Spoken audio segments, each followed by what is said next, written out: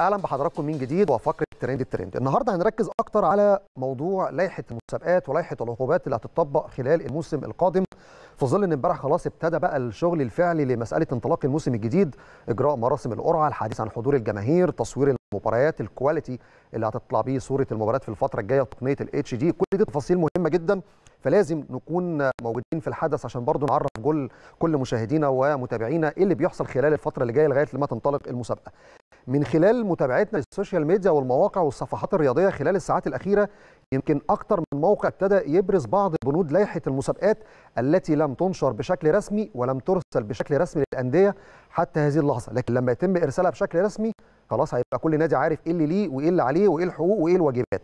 لكن بما إننا بنتابع ال social media نشوف النهارده بعض البنود اللي كان موجود على بعض المواقع. مثلا المادة رقم 98 في اللائحة بيتكلموا على إذا ثبت اعتراف الحكم خلال 48 ساعة من نهاية المباراة وقوع خطأ منه في تطبيق قانون كرة القدم تلغى نتيجة هذه المباراة بقرار من إدارة المسابقات وتعاد.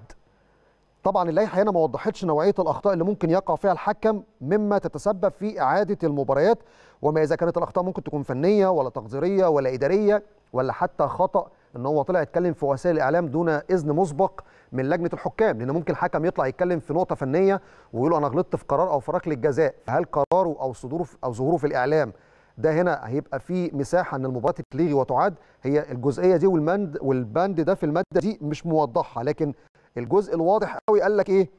تلغى نتيجتها بقرار من إدارة المسابقات. يعني لازم يصدر قرار من إدارة المسابقات مش بند واضح وبناء عليه تلغى النتيجة دايركت. لا لازم قرار من إدارة المسابقات. في مسميات كده في اللوائح والقوانين لازم نركز فيها عشان نعرف الفرق لما بتيجي تطبق هذه اللائحة. البند الثاني أو النقطة الثانية بيقولوا من الأجزاء المقترحة إن في حالة اقتحام الجماهير لأرض الملعب بما إن خلاص الفترة الجاية يكون في حضور جماهيري 1000 مشجع لكل فريق والمباراة يكون فيها 2000 مشجع بيقول لك لو حالة اقتحام جماهير لأرض الملعب في اللقاء المقام بحضور جماهيري مليون جنيه وخصم ست نقاط. مليون جنيه وخصم ست نقاط. لكن برضو الجزئية مش واضحة. هل هتبقى على الفريق صاحب الملعب اللي المفروض هو اللي بينظم المباراة ولا جمهور الفريق الضيف اللي ممكن يكون اقتحم المباراة؟ ونقطة تانية نفترض المباراة دي بدون جمهور وفي جمهور اقتحم هل هيبقى في القرار إيه؟ لأن هنا بيقول لك إيه في اللقاء المقام بحضور جماهيري مش في اللقاء بشكل عام. برضو في تفاصيل لازم اللائحة تحددها عشان نشوف الفترة الجاية هيحصل إيه بالظبط.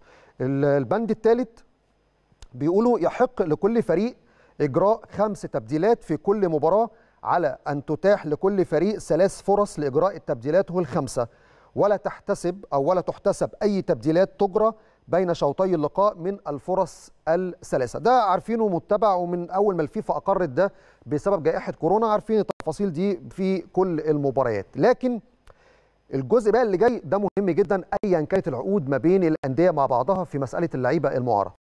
لائحة المسابقات بتقول يحق للاعب المعار أن يشارك أو أو أن يشارك مع ناديه المعار إليه ضد ناديه الأصلي المعار منه ولا يجب الاتفاق على ما يخالف ذلك. يعني نادي سين ونادي صاد. نادي سين أعار لاعب لنادي صاد وكتب في بند الإعارة إن اللاعب ما يشاركش قدامي في المباراة ضدي. لا هنا كده البند ده هيكون مخالف للائحة. فبالتالي لا أي لاعب معار يلعب ضد ناديه الأصلي مفيش أي مشكلة وهتبقى مشاركته سليمة طبقا للائحة. طيب الجزء اللي جاي كمان بند رقم خمسة أو في الترتيب يعني تستقل حالات الإنذارات والطرد التي توقع في مسابقات الدوري العام كمسابقة منفصلة عن بطولات كأس مصر والسوبر وتعتبر كل مسابقة مستقلة بذاتها إلا في حالات العقوبة أو العقوبات الانضباطية. يعني لعيب مثلا نفترض الأهلي كان بيلعب آخر مباراة كانت مباراة مثلا إنبي في كأس مصر. في لعيب مثلا في الأهلي خد ثلاث إنذارات. هل طبقا للائحه يغيب عن أول مباراة في الدوري أمام الإسماعيلي؟ لا. يلعب مباراة الإسماعيلي. ولكن مباراة بيراميدز في الكاس اللاعب هنا بيغيب وما ينفعش يلعب مباراة بيراميدز في كأس مصر. وبالتالي هيكون في فصل بين الانذارات والطرد. ولكن إذا كانت لجنة الانضباط خدت قرار انضباطي ضد أي لاعب أو جهاز أو مدير فني أو مدرب أو أي شخص إداري في الجهاز العقوبة الانضباطية تسري على جميع المسابقات المحلية سواء دوري أو كاس أو كأس السوبر.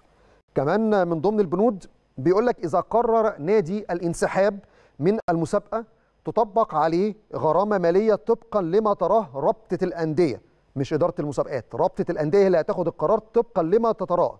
بالإضافة لاعتباره مهزوما بهدفين في المباراة التي انسحب منها ويتم خصم ثلاث نقاط منه وإذا انسحب فريق من الدور الأول تعتبر كل مبارياته في هذا الدور كأنها لم تلعب. لكن إذا انسحب من الدور الثاني تبقى نتائجه كما هي في الدور الأول وتلغى في الدور الثاني. طيب أيضا بند آخر من ضمن بنود اللائحة توضيح إذا تم تساوي الفرق في النقاط في نهاية المسابقة. بيقولوا إذا تم التساوي في النقاط بين فريقين يتنافسان على بطولة الدوري وقتها يتم اللجوء إلى المواجهات المباشرة ثم إلى فارق الأهداف يعني الأهداف اللي ليه واللي عليه بيطرحوها من بعض ويشوفوا فرق الأهداف قد إيه في المواجهات المباشرة. تمام؟ ولا يحتسب الهدف بهدفين خارج الأرض. وفي حاله تساويهما في كل هذا يتم الاحتكام إلى عدد الأهداف التي دخلت مرمى كل فريق وإذا تساويا أيضا يتم اللجوء إلى مباراة فاصلة. اذا هنا اللائحة بتقول المواجهات المباشرة وطبعا ده هنا الاتحاد الإفريقي أيضا بيطبق نفس الأمر تبقى المواجهات المباشرة عكس لائحة تصفيات كأس العالم بتبقى فارق الأهداف. طيب الجزء اللي جاي ده مهم جدا. لأن الناس هتحاول يعني إيه تفهمه. يعني أنا حاولت اقراه كذا مرة عشان أفهمه لأن الشكل العام مش عارف هل هيبقى منطقي ولا مش منطقي. أنا أتمنى يكون في مبدأ الجداره الرياضية لكن البند اللي قدامي ما بيقولش كده بيقول حاجة تانية عكس كده. في حال عدم استكمال المسابقة لأي ظرف أو لأي أمور أخرى فإن حدث الإلغاء بعد حسم بطل المسابقة أو الهابطين يتم اعتماد نتيجة المسابقة كما هي. بمعنى إن مثلا وصلنا للأسبوع ال30 ولا قدر الله أي ظروف قهرة أو أي أمور طارئة أجبرتك على إلغاء الموسم. فبالتالي أو عدم استكمال الموسم يعني. لأن كمان فكرة الإلغاء دي أنت لغيت النتائج لكن عدم استكمال الموسم.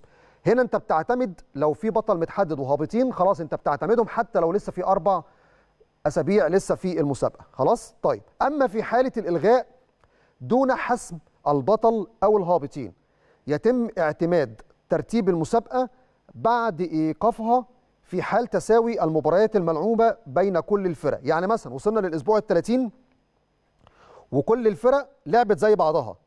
هنا بيتم اعتماد ترتيب المسابقة والأول هو هيكون بطل الدوري والثاني هو الوصيف وبيلعب دوري أبطال والثالث والرابع بيلعبوا كونفدرالية وآخر ثلاث مراكز بينزلوا للدرجة الأدنى.